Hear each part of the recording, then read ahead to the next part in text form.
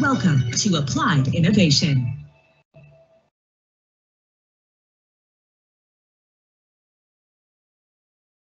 Hi, and welcome to Go Live from Capgemini Applied Innovation Exchange, San Francisco. I'm Andreas, your host today. Uh, today, um, we have two very special guests, and I'm excited to engage with them on the topic of future of work uh, stronger together. Um, we will explore um, some of the most critical characteristics uh, found in winning organizations today. Um, first, uh, cross-functional collaboration. Um, never before and across all industries, cross-functional and autonomous or near autonomous teams are the foundation of high velocity, agile problem solving. So that's the collaboration aspect. The second aspect, um, I'll turn to Natalie Nixon, author of The Creativity Leap, as maybe some of you have read the book. Um, defining creativity as, quote, the ability to toggle between wonder and rigor in order to solve problems. Um, according to a recent study, creative companies are, quote, more likely to report commanding market leadership position with a higher market share than their competitors. So also, as we see in the AIE uh, around the world, uh, the Applied Innovation Exchange ecosystem, creativity uh, is not a nice to have. Um, fact is that creative companies drive more organic revenue growth and profitability than their peers. So that's the reason why we at the AIE obsess with creativity. Uh, that's the reason because it is the rocket fuel of innovation. So with that said, you will absolutely understand why I am thrilled to be joined by two uh, really prominent guests um, today. Uh, we have uh, Zakiullah Mohammed, Principal Product Manager Lead for Microsoft Teams, Microsoft, and uh, Risto Lähdesmäki, founder of Idean and uh, Executive Vice President uh, Capgemini. And uh, welcome to both of you. And I think if you turn on your video feeds and your microphones, uh, we will all be really glad to see you, both of you. Thanks, Andreas. Uh, excited to be here. Um, hello, everyone. Thanks, Andreas. Uh, such a pleasure. Uh, nice words. Thank you. Thank you. Well, it's super um, great to have you both. And um, just as a quick um, introduction, uh, Zaki is a lead principal program manager at Microsoft, uh, responsible for platform growth for Microsoft Teams with strategic customers and system integrators. Zaki has always had a relentless focus on user experience and the passion for solving problems at scale. So good to have you, Zaki, here. Um, and Risto, um, some of you know, founder of Idean and the EVP at Capgemini, um, more than 20 years of experience within the creative and digital industry with a focus on ensuring design thinking and human-centric approach. So great to have you both. And let's kick this off and maybe turn to you first, um, Zaki. If you tell us a little bit about yourself and what gets you excited today. Um, sure, uh, Andreas. Hello, everyone, again. And Zaki, um, I'm streaming live from Bellevue. Uh, that is uh, the greater Seattle area uh, where Microsoft is based off. Um, I mean, my story is very simple. I keep, there are two parts to my story. One is before Microsoft and after Microsoft. Before Microsoft, I was uh, building and running startups. So working remotely was a norm for us over there because we were running geo-distributed teams and we had, you know, contractors joining us, our uh, our uh, endeavors from different parts of the world. So it was it was a norm then, working using collaboration tools as much as we can, and we didn't have the luxury of having you know large open floor offices at least in the initial part of our startup journeys. But then after coming to Microsoft, it's a whole different world where you have um, a culture of uh, everybody in one roof, under one roof, collaborating geo uh, at a very magna scale. Um, and then COVID-19 happened and we are in a very different norm. And I Mm. think what excites me today is just to share the innovation that Teams as a product and Teams as a platform is enabling for our customers across the globe, across industries and verticals. So I'm really looking forward to share with you those anecdotals and stories and uh, you know evidences. And in fact, I have some Easter egg goodness over here that we'll probably share with you uh, soon. Over to you, Andres. Awesome, awesome. And right over to you, Risto. What gets you excited? So um, thanks, Andres. Um, um, as of today, what gets me excited? I'm looking at the world. Have to say, it's a really chaotic place, and what really gets me excited right today is that I believe that I, you know, there's hope. Um, I Mm. really chose to be optimistic, and I mean, so for that one reason, I, I, you know, I, I have a side hobby, so I play, you know, piano and all that. So I've been working with my pals um, across the planet, six different countries to be exact, um, on a new song we call United We Stand. And I just got it today, the first final version. Wow. Um, and you know, it's all done collaboration. We actually used, used Teams a little bit as well.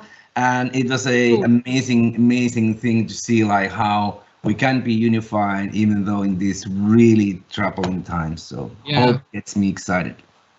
Oh, well, uh, you got it today. I hope you'll share it with us. no one's seen it yet. Okay. okay. We'll okay. see. We'll see. Yeah. If we have time. Yeah. Yeah. Well, I think it comes together. You said teams, and we're all of you know all about this creative aspect of things. So we're looking forward to hearing maybe hearing you sing. I don't know.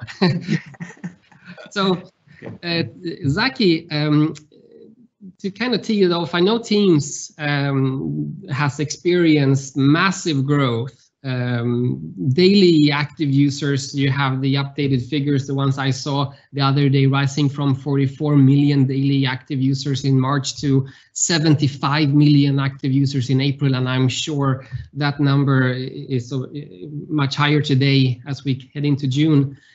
And also we're seeing an incredible pace of new features from, you know, from within the desktop client, what happens on the back end to the iOS and Android um, apps. What's your view on the current state of things and, and where we're heading, so to speak? Uh, Andres, I would first like to acknowledge, I mean, we are, it's a very unfortunate situation in which, and, and it's an unprecedented times that we are living through. But from a product um, and platform perspective in Teams, we are very excited. I mean, as Satya called out in our earlier earnings call that we were able to drive two years of digital transformation in two months, then that changes the story, right? Customers were a little apprehensive earlier about, you know, using Teams for collab and stuff, but now they see a very different value that it is generating for them. And it's just evident by the numbers that you were calling out. Um, I think the difference, the, the number that we announced about 44, 45 million daily active users, and then when we announced 35 million daily active users, the gap is only less than eight weeks. So if you can really Mm. look through it, that two months and under two months, the transformation effect that we are having across customers is, is uh, phenomenal. Uh, whether it is education, whether it is healthcare, whether it is public sector, whether it is retail, whether it is manufacturing, across the industries and verticals, uh, we are seeing a great reception, b great feedback.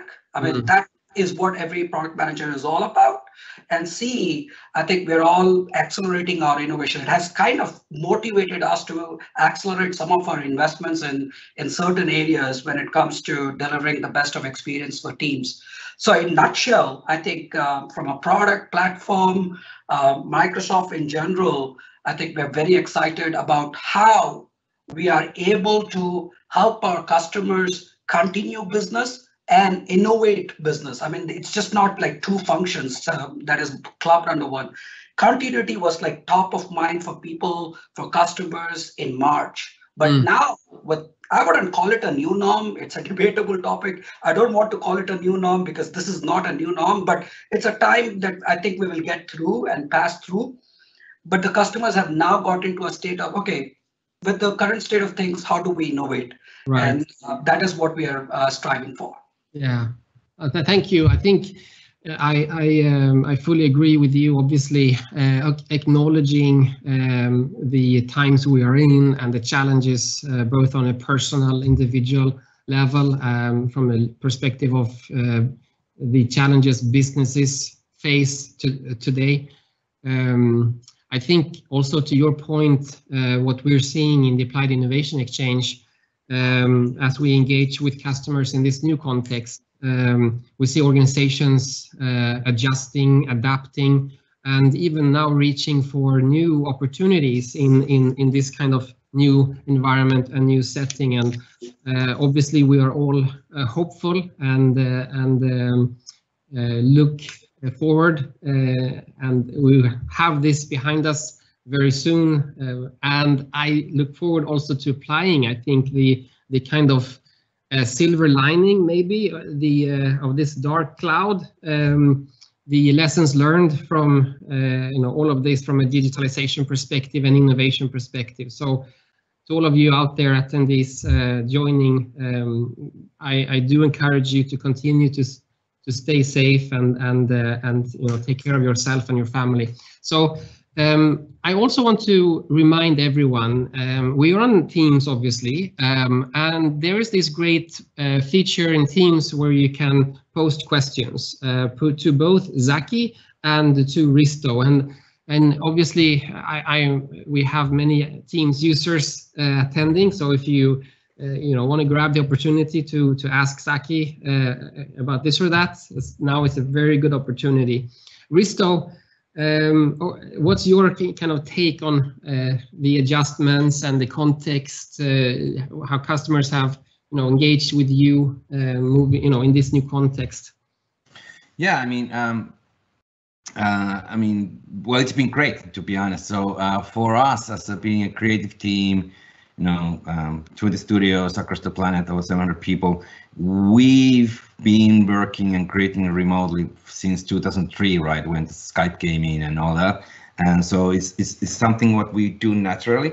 But um, to be honest, like uh, let's say 12 weeks ago, when uh, this whole thing started to get together, and we realized that you know the world is gonna change, we mm. started focusing and training ourselves like to become better on you know working and creating from home. So we launched this whole new program internally and externally.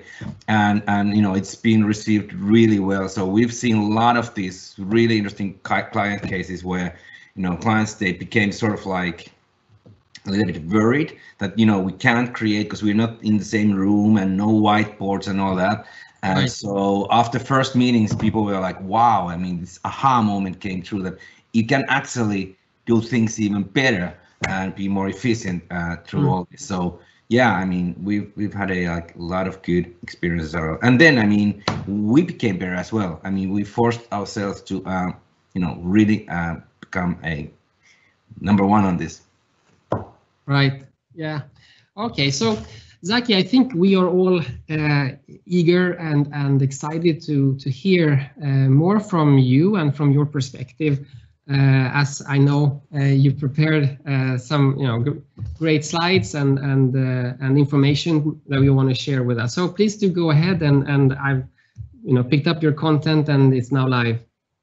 Awesome, thanks, Andres. I mean, um, for folks joining online and hearing us, I mean, the three takeaways I want you to think about is what is Teams as a product? What is Teams as a platform? How is it going to help you uh, drive collaboration in today's context, right? And more importantly, uh, show tell you like how some of our customers are um, really using the product and the uh, product as a platform actually. So when we think about Teams, I mean, the first time we envisioned Teams, it was not about, hey, we want it to be the primary, we want to replace the primary dialer on your, you know, desktop or mobile. That was basically coming as an alternate to Skype for Business, but it was more thought about how do we create a cohesive, ubiquitous experience where people, projects, processes, and program artifacts can all come together as conversations. That is what we mean by hub for teamwork. So when you think about that, there are a bunch of things that you can break down. One is, of course, chat as a capability, calling and meeting as a capability.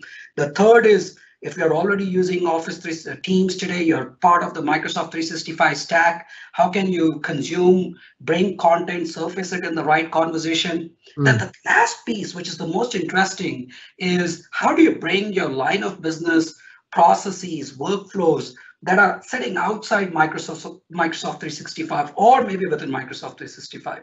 This could be various examples. Um, that is what we meant by Team for Homework. That was our vision, what we set out for. And if you look from a traction perspective, as Andres was telling, I mean, we have to, today about 75 million daily active users, over half a million organizations using Teams. I mean, we are available in 181 markets with support for 53 international languages. And you just look at the sheer intensity. If you look at 10,000 or more active users using Teams today, we have over 650 organizations. I mean, that's just phenomenal. We have organizations of various sizes. We are talking about organizations that are of half a million size to organizations that are just, you know, SMB customers in hundreds. And I have also seen startups picking up Teams and using it because it's just uh, gives them the cost benefit when they're part of the Microsoft 365 and the productivity benefit. Mm. So that's the traction that we have seen so far in market, mm. and we're very, very, um, you know, humbly um, receptive to the customer feedback and appreciate the response that we have received so far. Um, before I go ahead and talk about what Teams as a platform can do for you, I wanted to quickly share with you a customer story. Um, this is a customer in healthcare and how they are using Teams as a product and platform. So I would let um, you know uh, the video go through. Just want to make sure um, I am able to present with audio. Uh, I think last time I didn't select my system audio, so I'll do that again. And I think this time the audio should go through. And Andres, please yeah. let me know if the audio is You're live. Northwell Health is one of the nation's largest health systems. What makes Northwell unique is that innovation is in our DNA. We, as technology providers, look to the clinical needs and the patient needs while designing the technology. The technology has to be scalable, affordable, and effective. Clinicians have to deal with a torrent of data that the patient is generating. Microsoft Teams uh, provides a very modern platform for collaboration that all the clinicians are able to have visibility into what's happening with the patient families want to know everything. They want to know it in real time. And it's hard for us as physicians to keep all the laboratory values straight on 15 or 18 patients that you're seeing in a day. Nora is a bot that allows me to pull up in real time the electronic medical record right onto my phone through Teams. I can type in a patient's name and all that patient's labs will come up. It relies on search tools that are available in the cloud platform, like the Azure Search, and packages all of this into Microsoft Teams. It is scalable and very, very powerful. I can sit there with the family, pull up the patient's record in seconds, which is absolutely tremendous. It's changed things in a way I've never expected. Nor is the first piece of technology that actually saves me time. So I can spend more time talking with my patients. The extensibility of Microsoft Teams has really opened up a whole bunch of possibilities for us. So we built an app that sits on top of Microsoft Teams and in Power Apps, which allows clinicians, when they're doing rounds, to be able to capture the right set of information that will allow the patient to get discharged on time that is really speeding up our ability to react in real time to patient concerns. And I think ultimately is going to make our patient care better and our outcomes better. He's creating a very positive effect in ambulating the patient and getting them back to their most comfortable region, uh, which actually is the home.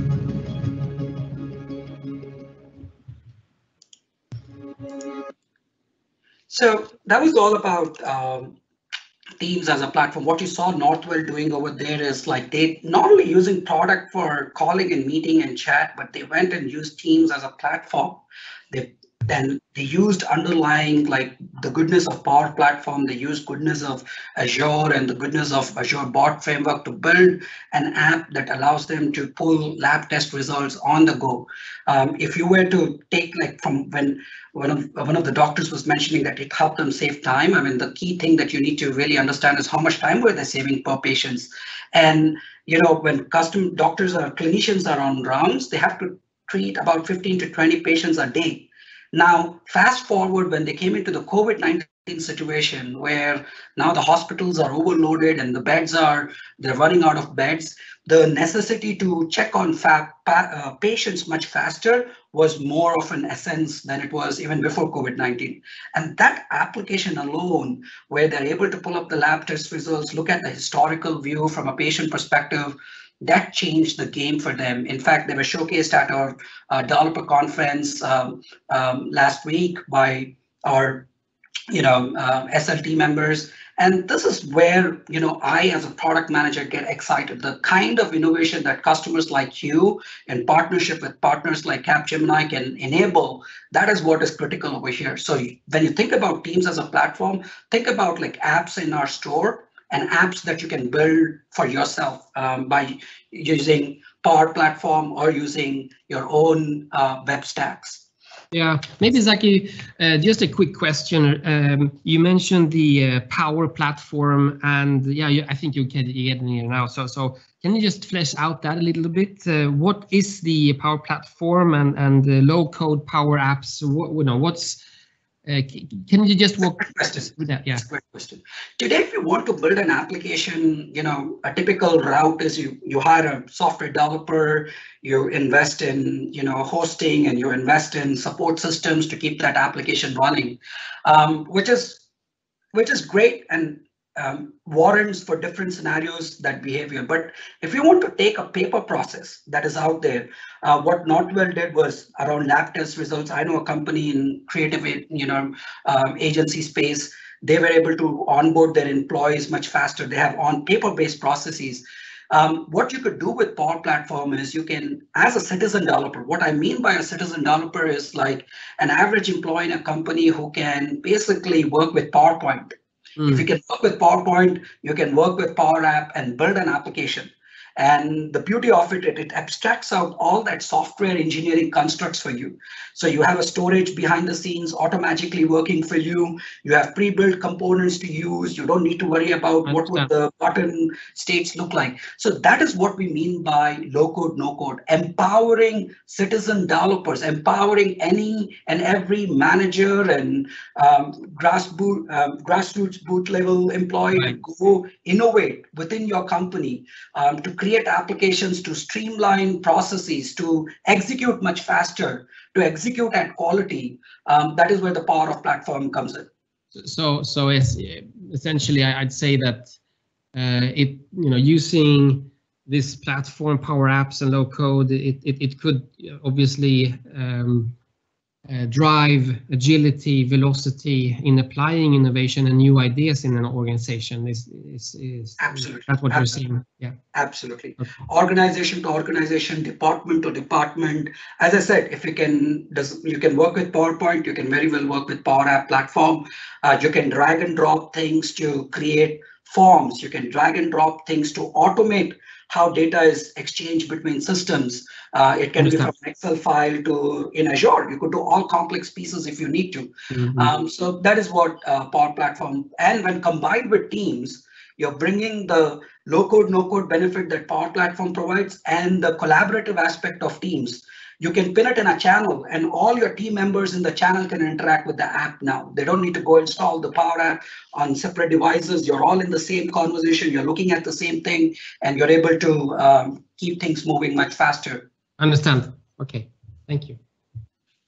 Awesome. So what do we mean by an app? I don't want to bore you with the technical uh, details of it, but when we think about an app in Teams, it could be a combination of these capabilities or interfaces that we call. So there could be a channel tab. Imagine tab as a an embedded uh, page or a experience inside your channel. Um, so if you have a, a team with a set of channels, there's a tab that you can add. And so think about pinning a Power App over there, pinning a Power BI over there, pinning a SharePoint site over there, pinning your own um, you know, sites that you've built and they're living outside Teams and outside Microsoft 365. You could also think about the apps that we have already in our store. So you are you if you're using Atlassians, if you're using uh, Trello's of the worlds, you can bring them in there. Bots, no brainer, conversational UI. Then when people have conversations, I mean, imagine if Andreas and myself, we are discussing on an approval note and Andreas says, yes, I approve this. Now I can capture that response of Andreas and send it to my LOB system. That is what message actions allow you to do. Messaging extension is more like searching and sharing information in teams. Um, task modules are like things that can help you execute workflows. And the beauty of all this is all these capabilities can, you know, treat teams as a central notification system. So whether it is people at mentioning you on a channel or replying to your thread or a bot trying to get your attention, mm. um, you can use the activity feed notifications over there. Now the backend, as I said, you can build an app using Power App or SharePoint framework or using your own line of business systems. You could leverage Azure and Microsoft Graph all underneath to surface those experiences and data and workflows inside Microsoft Teams. Um, that's that's how we think about it. And quickly moving on, I mean, today in our store, we have over 600 plus apps available that you can pull up. These are apps that our ISV partners have built. So not necessary. You might be using Workboard for OKR management. You might be using Jira for feature ticket or product management. You can, you don't need to build applications. You can consume that from our store today and continue innovating within teams. Um, lastly, I mean, if I look at in current context, um, how are customers really using Teams as a platform, I put them into four digital transformation pillars. Firstly, foremost, how are they empowering their employees and how are they engaging with their employees? It has become very crucial now. Once you're no more under one roof, where there is no uh, face-to-face, um, you know, touch points um, that happens, you know, it becomes it has become more for managers and employees and teams to check in with each other. How are they coping up? I mean, working remote has its own challenges and with the whole lockdown situation um, the the mental fatigue it is adding the emotional fatigue it is adding um, it has become necessary how you leverage teams over there so we have started seeing scenarios like Pulse service every Friday I do with my team is something called Pulse check-in. So I check with them like every bi-weekly. Hey, how are you feeling about remote work? What is the support models you need? Whether the support models are working or not. We have apps for it to do like Disco and Karma. Um, engaging mm. with customers. I mean, business has to continue. I mean, if you're in the business of running services and selling products, you need to touch with your customers to keep moving. Um, how can you do that while working remote? Um, optimizing operations, no brainer. I mean, this is where um, how, how are you now moving and managing operations remotely has become a key thing and care coordination in healthcare um, delivery, live tracking, um, curbside pickups. I mean, it's interesting, like curbside pickups and stuff which has not been relevant to the corporate world has become relevant now. And more importantly, whatever is your core selling uh, value proposition, how do you tend to amplify that in today's context? How do you transform your products and services? So engineering workflows, service incident management, um, so much. I mean, if you look in today's, if I look at two last two months, where the impact has been a lot and what kind of apps are getting used in our ecosystem is the right. collaboration apps like design collaboration, apps like Mural, apps like InVision, apps like Whiteboard. Um, today, there is no physical whiteboard that I and my colleague can go into a meeting room and use. Now we have to do it remotely. We have to share ideas. We have to continue the innovation. Um, and more importantly, one of the trends we are seeing, Andreas and, and folks on the call, imagine, I mean, every company has an innovation center, right? Mm. Earlier, we used to invite customers for to our innovation centers and show them the best of our product and service and people offering. But now when you have to continue your business, when you have to continue um, transforming products and engaging customers, how do you do that virtually now? And what was now we have come to a realization hey, before COVID, our innovation center approach, where we used to fly people down and do a, a focus session, was an expensive affair because we had to plan mm. for it, we had to set up the travel for it. But now everything moving online, not only has it helped us save cost, but I think the feedback that we are receiving from customers is it's more engaging. I feel more uh, involved. It's not uh, just a jargon of content through at me. So that is the behavior we are seeing in today's context. So with that, um, that is all I had from to share with you from Teams as a product and platform. Over to you, Andres. Thank you, Zaki. Actually, I'll just uh, uh take that part you said at the end there with the whiteboard and and uh, direct everyone's attention to the live event Q&A. And uh, actually, one of the questions uh, coming in from uh, from our attendees to you, Zaki, what's your recommendation for hardware slash software to conduct a whiteboard session for Teams? What's what's your take on that? I love uh, using Surface um, Hub with uh, Teams. I mean, it's amazing. Um, we do have whiteboard in Teams meetings coming, and then um, we do have like some of our uh, third-party partners published there. So definitely Surface Hub plus Teams. Um, and I mean, what the price points were like two years back, it's no more that of a challenge. In fact, nowadays we are seeing more of our, you know, leadership members and our employees who are in the business of uh, design thinking and, uh, you know, visual thinking, using it more often. The second, if you don't want to go that, you know, broad, you can in fact use your iPads as well. You can use your tablets as well. You can use Teams on those tablets and I can have a meeting running on my desktop. I can join with my iPad and I can do my whiteboarding on my iPad as well. So I can mm-hmm. screen share on my iPad device with Teams and I can use the, any app that I am comfortable with. So mm-hmm. that is also working. So I'm on the call on desktop attending the call and I use my, um, you know, iPad as a second device to foster uh, visual collaboration. Mm. I understand. So um, out of the different scenarios you uh, you outlined, you see teams use, you know, engaging with employees and and uh, customers, obviously supporting business processes. Now with low code and Power Apps, you you can easily design new types of support on the platform. Um, what what are some of the more surprising uses that you've seen uh, of teams? Um, I think obviously stronger together is a very important theme and and you know pulling individuals persons teams together but what are you know some of the surprising uh, implementations you've seen um, I can tell you in, in the recent context, which was mind blowing. Uh, I'm not like NFL um, um, the National Football League wanted to run their drafts, um, and you know, drafts is like a physical activity where all the participating, you know, clubs have to or the teams have to come in, and we were able to turn that around, like use teams to do NFL drafts. That was a game-changing moment mm. for us, coming together as one Microsoft, and the interesting part was the time we had in hand to work with NFL to really do that. So that was one. Um, the other is more importantly is um, the healthcare. I mean, this is time and repeat we have seen happen in, in current con- unfortunate context. The situation is virtual consults. Mm. Imagine now, as I said, like what Northwell is doing is they have to do a patient check-in. But if you're a patient check-in and you're going in, in, in an area which has a lot more COVID-19 infected patients, um, how would you be able to do that? And now we have seen healthcare providers using devices set up in certain rooms to the doctor and the clinician are not really there. They're able to do virtual consults and virtual check-ins to cover not because they're um, they're worried about their personal safety, but they're more worried about how many patients can they see in a day. Um, and how can they extend it? So that's one scenario that has come out. Um, you know, I can go on and on, but these two are uh, yeah. fresh on my mind in the current context. Uh, thank you for for um, those examples and also sharing uh, your views, perspectives on the Teams platform. And I'm sure we're gonna uh, get um, to even more questions. We have more questions coming in, but I I obviously also want to turn um, over to you, Risto.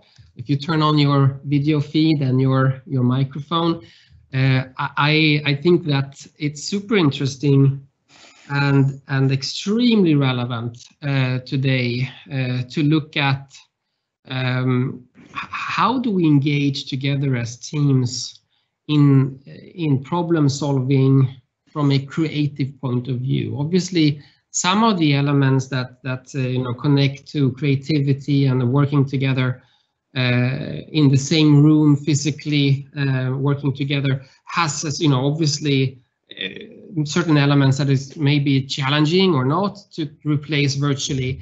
And you know, from your point of view, Risto, uh, I know you and your team have many years worked uh, in in you know highly creative environments, uh, even built uh, really uh, super cool physical environments to kind of mimic what you're actually going to build for for airplanes and cars and all of that. Uh, super cool. How do you cope with that kind of thing now Uh, in this environment? Uh, are there any any best practices or ideas that you can share with the attendees? I'm, I'm, I'm sure uh, many are interested to learn about this kind of connection. Yeah, I mean, thanks. That's a great question. So, I mean, of course, first of all, as we all, we need to adapt, right? And in a way, the fact that now as everyone's working and creating from home, we are like on the same sort of like setup and, you know, everyone's facing the same challenge here. So it actually helps because now you know the whole environment and you know the whole the platforms are same and everyone's like really working from the same uh, angle um, and yeah i mean so we we basically for example what comes to creating from home and and brainstorming and all that um, we set up a whole new sort of offering and a practice where you know we start learning like using all these these different tools. Like there are like dozens of different uh, services one can use and you know possibilities are endless. And so my you know i mean tips or tricks might be like well first of all um, you need to start thinking of your culture. Uh, you need to set up everything around the culture you have and these times are actually really interesting because um, when you have a creative culture it just empowers it right um, and I think the you know everything we are experiencing here is just amplifying what you have already. So uh, you you need to find ways how you um, you know relax the people in part of when you are doing the uh, workshop or, or, creating from home, and you need to try different tools. I mean, you really need to go uh, outside of the box.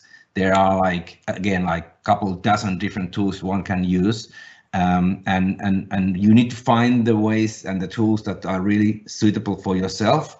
Uh, facilitation is super important. I mean, it's a really really hard skill to have, and so I encourage every organization to uh, you know find and identify those people who are able to right. bring energy back to a sort of virtual room through the through uh, you know calls like this, and and then you know just spread that and and let everyone learn um, so yeah. Yeah, I, think it's it's uh, really interesting how you start off by not going straight to tools, uh, but you're actually mentioning the culture. Mm, yeah. I think maybe also behavior and how we work together, how we encourage uh, you know creative thinking and all of that.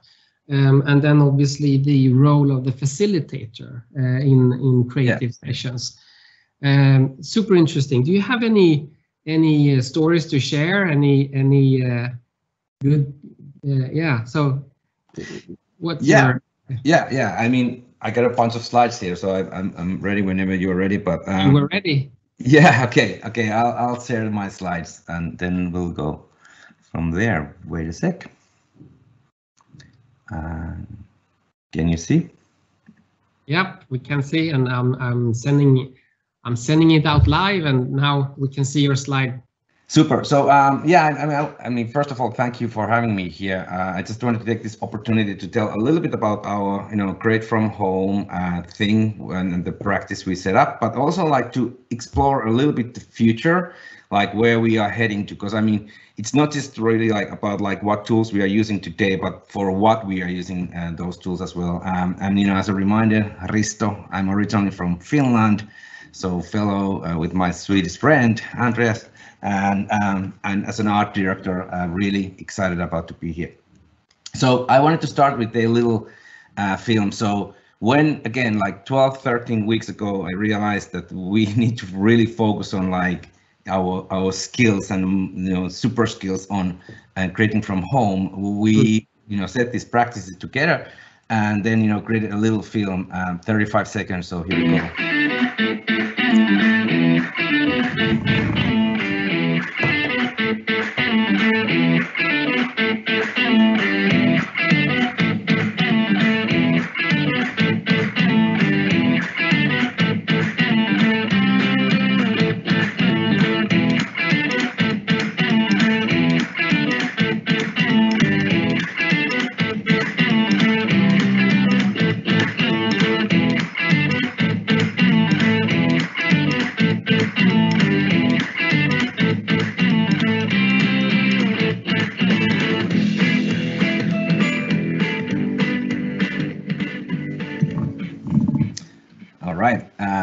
So one thing we um, this is not just about like I mean you can go online and find a lot of good tips and tricks about like how to run these workshops and like how to be more efficient online.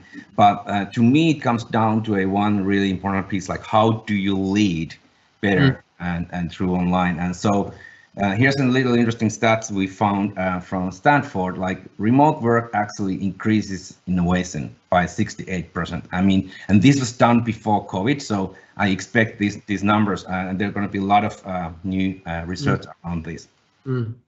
Um, and so when I'm thinking like what the future of creating or working from home, so I, I took a liberty to Google a bit this morning and no, right. I mean, this was the world before uh, COVID. Everyone's like, well, you're working from home, right? Um, and you open a beer like what 1 p.m. Mm. Uh, but um, this is sort of the the dream we have about working from home. This is really the reality of the working from home. I, I think everyone in the audience has experienced some of this, right? Or this, uh, more or less. Um, to me, it's more like almost like a having a, a broadcast station when you are working through online uh, tools and different like uh, uh, apps and, and services. I mean, you need to really facilitate that like really efficiently so that everyone has the same flow than we used to have in, in the real world. And you know, just an example like we love Jamboard. I mean, our team there working, uh, trying to make things a little bit more fun as well. So, uh, you know, my, my dear colleague Whitney, she always says, when you can add fun, add fun. And, and that really is important now uh, when we are working and, and, and, you know, we don't have that physical uh, touch and, and presence we used to have. And, you know, just example of some of the tools we've seen and, and been like really working um, you know, through teams and, and all that. Um, and, you know, we love some of these really. And I think this is super important for for uh, anyone in the audience, like to go through and explore and like find the ones that really work for your need and your workflow. Um, and, you know, just like one uh, example from my own past, like literally like what 12, 13 weeks ago when uh, we started to really realize that this COVID is going to be a, a, real thing. Um, and I was wondering like how to run and like how can we run Idean, you know, around 700 people and without really meeting anyone.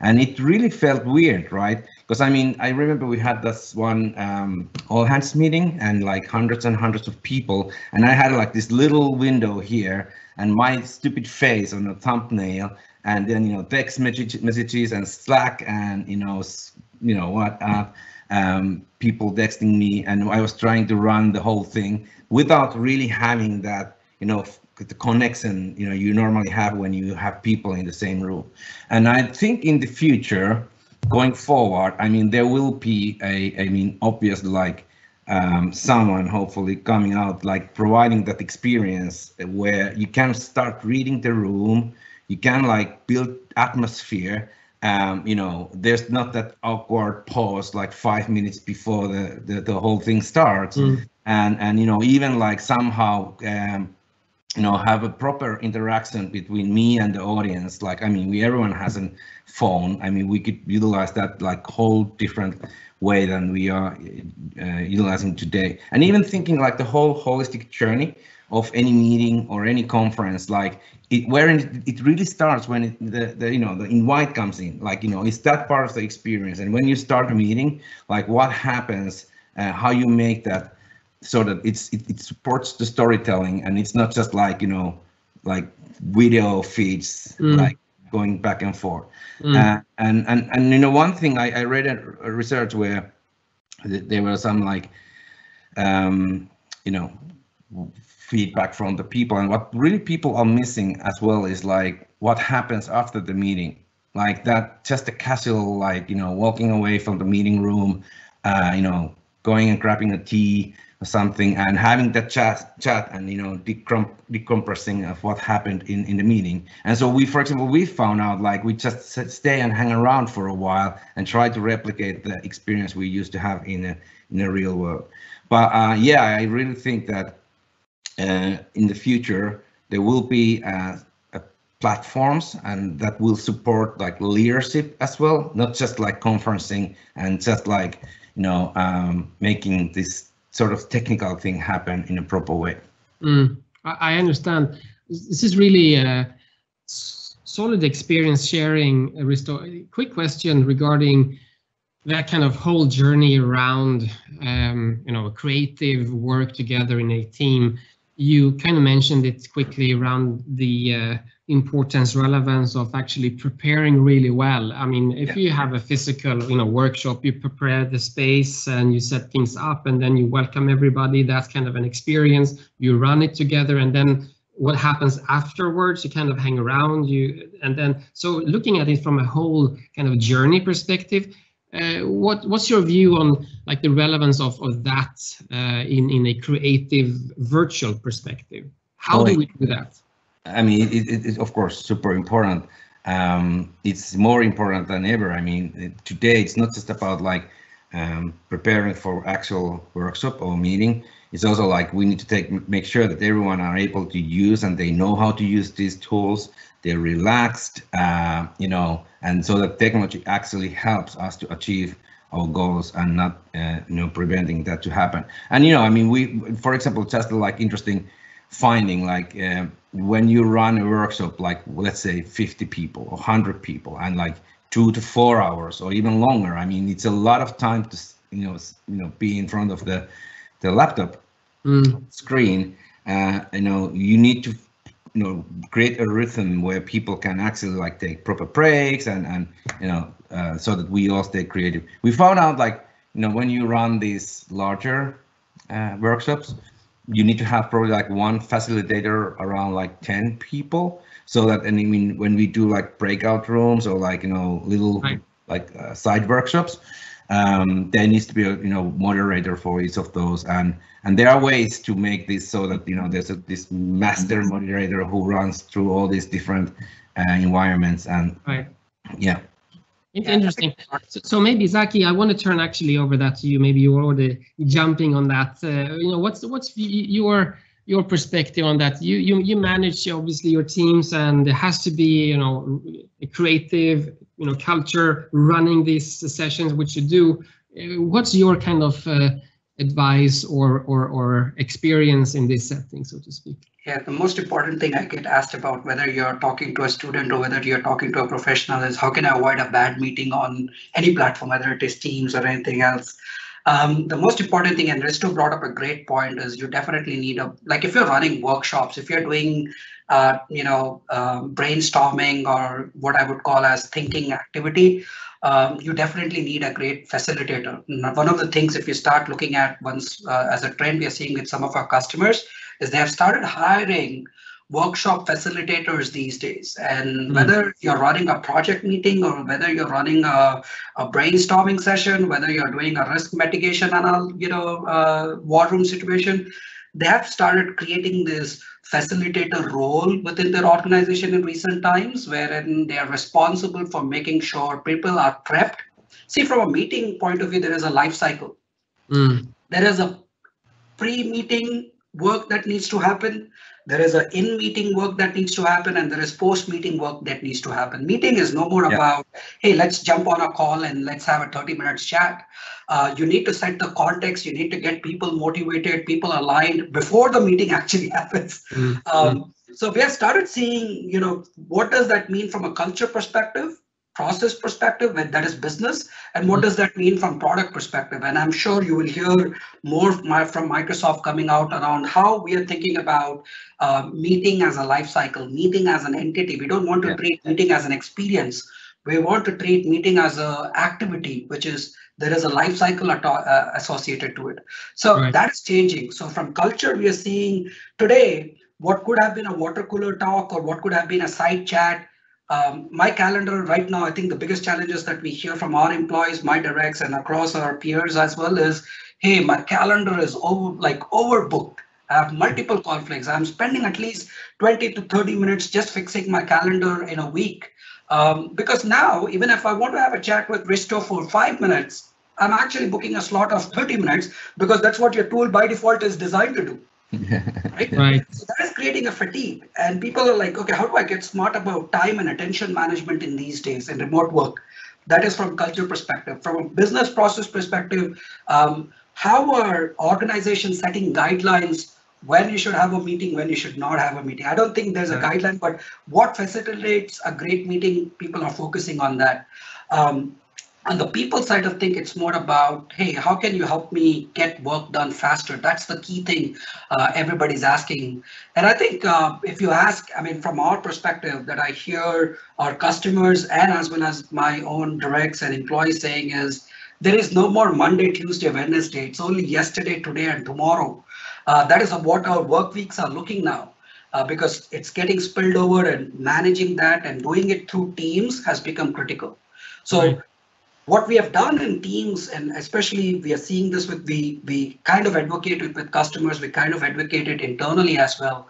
Uh, preach only what you practice is before any meeting, set up good guidelines on where should I go and gather context, what should I come to this meeting for, what am I required for in this meeting, and what are the action items, how do we follow up? So we have used planner boards inside teams. We have used Trello boards inside teams, which manages this life cycle uh, very uh, cohesively. Right. So um, I'm I'm looking at uh, some of the questions coming in, and we're coming close to top of top of the hour, but there's still um, time to to post questions if you do have any. Uh, the new ones that have come in kind of uh, relate to what we're talking about now, and and the, the um, experimentation that I think is happening uh, across many organizations. Uh, you're experimenting on, on tooling, you're experimenting on platforms, you're finding out new features, uh, new formats. So it's kind of an experimentation phase I think we're going through and also you know led by how we behave differently obviously in new, new context uh, obviously forced in many ways um, what's your take on moving forward? Will we kind of remain in this constant uh, phase of experimentation, or will we kind of now we'll nail kind of the the ways of working um, and uh, how we creatively engage, how we set up meetings, all of that, or for how long you think this kind of open experimentation will you know continue? Should it ever stop?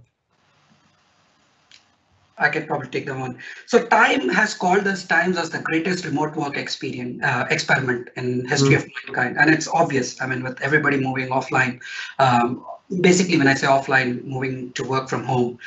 Um, one of the things that we are seeing, um, it's when you look from a data perspective, Gallup has this interesting poll done, a study done, um, wherein in March, they kind of interviewed the participants and asked them, how many of you would like to work from home?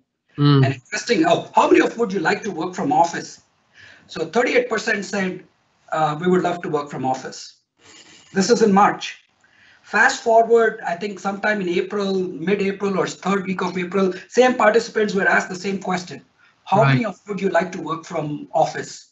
And astoundingly, same audience of that 47 or 46 percent i might be quoting that number wrong we can do a fact 47 percent wow. has quoted saying we want to go back and work from office yeah so there's a value there's a value because it brings yeah. in it it helps you build relationships it helps you today working on a new relationship and trying to nurture that relationship is a very extensive effort when you're trying to build alignment around projects and programs all remotely when it is an office, if people are around, it's much faster.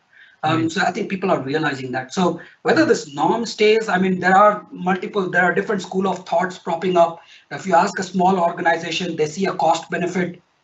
Um, but if you ask a large organization, that cost benefit versus the productivity gains, uh, the rationale is very different. Uh, we as Microsoft, we would love to come back and work from office as much as we can. I think I'm personally, when I say Microsoft, I think our leadership was also, Satya had this remark. I mean, that touch, personal touch is missing.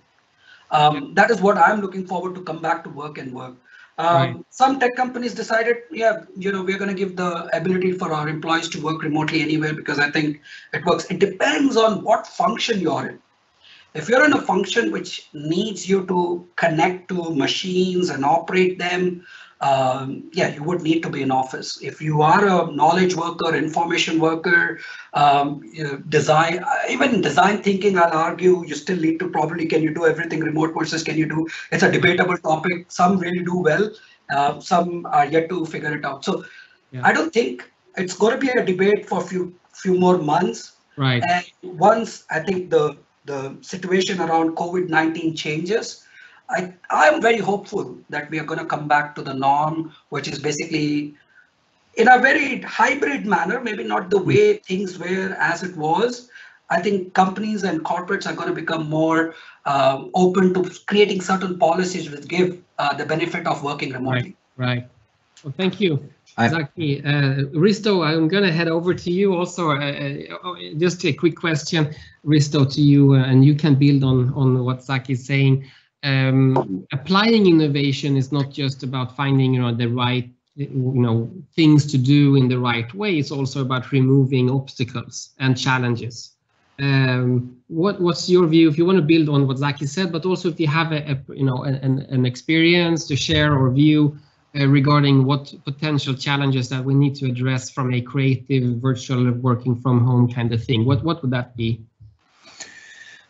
Great question. Um, I'll, I'll answer with one case study, a case we just had an experience. So uh, can't name the client, but it's a client who um, you know is building medical hardware, and and it's really really like sort of life saving uh, like um, thing.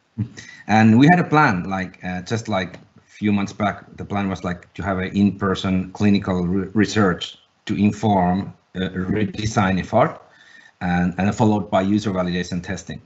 And obviously, then when we wouldn't be able to go and meet people, and we had a hiccup. And so the event was time sensitive and you know would need to occur while uh, shutdown and quarantine measures were in place.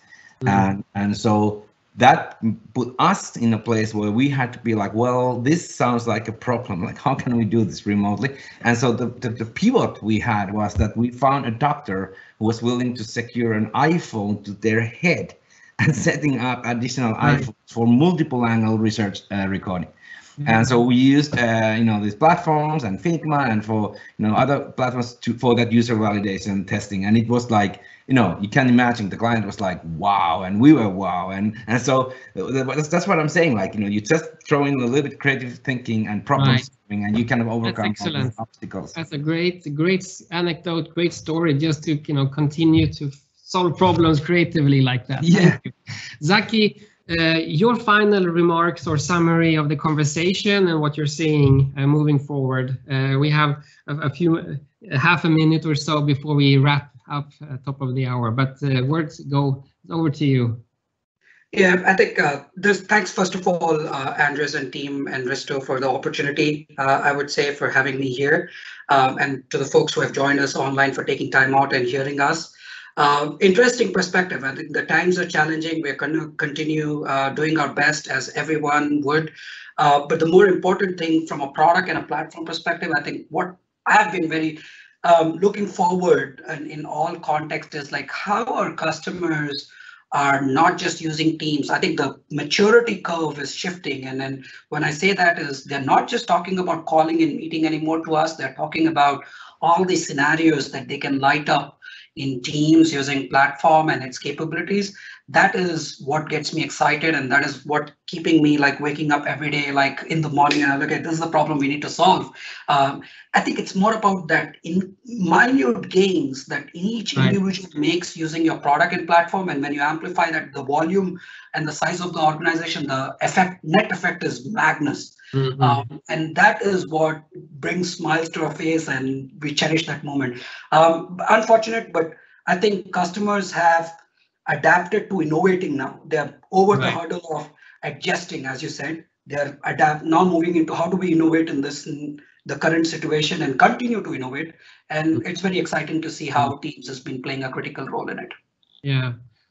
Thank you, Zaki. Thank you for sharing uh, today, um, joining from Microsoft, and uh, and also thank you for for joining Risto. It was great uh, engaging with both of you uh, on this critical topic um, Future of Work and Stronger Together. Uh, it actually concludes our series of uh, three Go Live events on this specific topic. And the San Francisco Applied Innovation Exchange team um, in these three um, events uh, pulled together uh, six partners from the Bay Area uh, to engage in different views, perspectives on this topic.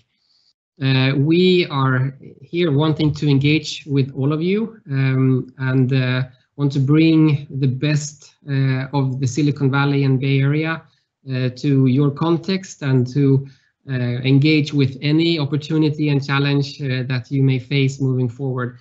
There's just one thing that I would wanted to kind of extend to to all of you um, in this context to, to kind of finally wrap this up. Uh, and it's just um, encourage you today um, to reach out to one of your team members or a couple of them uh, with a word of encouragement. Say something positive and constructive to the person. Uh, make someone feel really well about what they're doing. Um, that's my advice to you. And, and um, we've uh, uh, had a great time engaging with all of you. Thank you for the questions. Uh, Risto, uh, Zaki, thank you so much, and uh, we'll be back soon again with another Go Live event. Thank you. Thank you. Thank you so much. Thank you.